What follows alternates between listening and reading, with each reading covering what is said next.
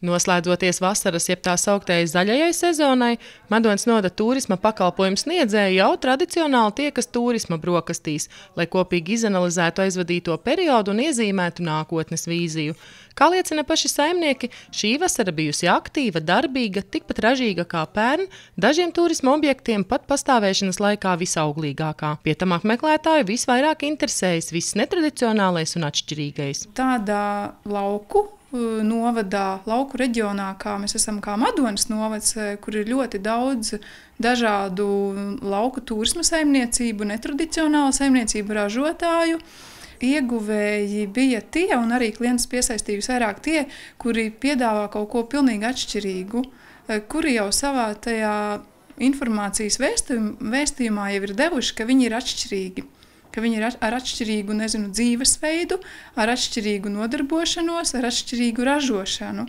Un kā tāds pilnīgi apmeklējumu ziņā līderis, manuprāt, ir izvirzījies Eh, Madonas nodas talīdzānos eh, esošais eh, koku vilnas meistars Ritvars Točs. Mazliet noslēpumainais senču mantojumā smeltais un veselības stiprināšanā balstītais turisma piedāvājums esot tieši tas, kas piesaistot turistu. Viņš tādā dziednīciskā statusā apstrādā un iegūst dažādas no augiem un no kokiem vilnas. Un cilvēkiem tas ļoti interesē, jo nu, no veselība ir viens no pamatvērtībām, jauna atpūta. Un to var apvienot reizē gan izziņa, gan atpūta. Kausera Sanita Soma pat labam tiek apkopota informācija nākamā gada turisma izdevumiem, un lai arī aktīvā turisma sezona sāksies tikai pavasarī, saimnieki jau zina, kādas galvenās līnijas viņiem būs. Līdz šim piedāvājām apskatīt mūsu netradicionālos dzīvniekus, apskatīt, cik mēs netradicionāli saimniekojam dārzā. Un, uh, mēs ta, no nākamā gada centīsimies uh, ieviest savā piedāvājumā nezāļu degustāciju. Jo mums visapkārt ir ļavas, un citi cilvēki varbūt tās uzskata par nezālēm, vai arī ārstniecības augus izmantot tējās. Mēs centīsimies parādīt cilvēkiem, ka šo te, šos te augus un nezāles, kurus mēs varbūt samīdam ikdienā vai nopļaujam, ka tās var arī lietot pārtikā. Aktīvi ar plašu piedāvājumu aizvadīt arī vasaras sezona Madonas Notpētniecības un mākslas muzejā.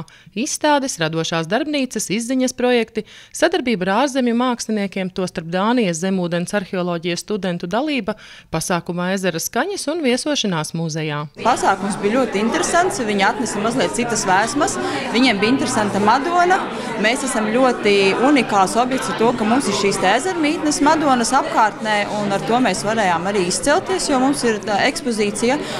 Nu, un, protams, muzeja 75 gadu pasākums, kas arī pie sevis pulcēja cilvēkus ne tikai no Madonas, bet tie ir cilvēki no visas Latvijas un arī no mūsu sadarbības partneriem Lietuvā.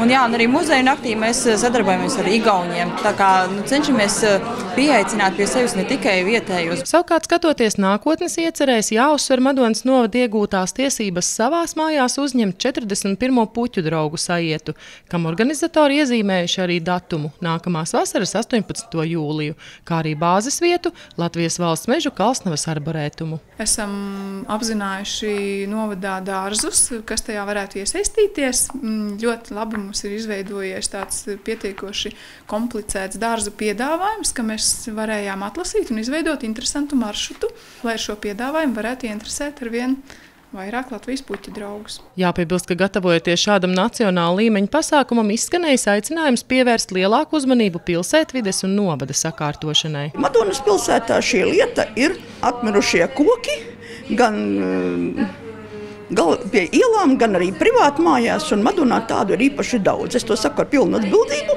e, tāpēc, ka daudz kustos pa Latviju un man ir iespēja salīdzināt. Es nesaprotu, kur ir mm, šīs te. Dažādi vecumi nu, problēmas cēlonis. Ja? Jo novākt atmirušu koku ja?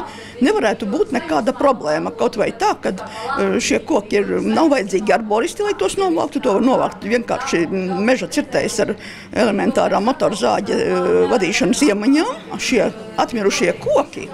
Daži stāv piecus gadus, septiņus gadus Madonā, pilsētā, ja? ielu malās. E, viņi vienkārši tāpat kā nu, nu, jebkas atmiris, izstaro nevēlamas enerģijas uz cilvēkiem. Kā informē Madonas not pašvaldības īpašumu uzturēšanas nodaļa, šī gada laikā pašvaldības teritorijā nozāģēti 53 bīstamie vai bojā gājušie koki, un saskaņā ar likumdošanu šie darbi tiks veikti arī turpmāk. Būtiski, ka visas darbības, kas saistītas ar veco koku zāģēšanu, jāsaskaņo ar valsts vides pārvaldi, nereti saņemot ieteikumu koku tomēr saglabāt. Tāpat liela daļa koku atrodas uz privātīpašnieku zemes, līdz ar to pašvaldībai nav tiesība ar tiem rīkoties. Sandra Zarņa, Kārlis Kumsārs, Vidzemes televīzija.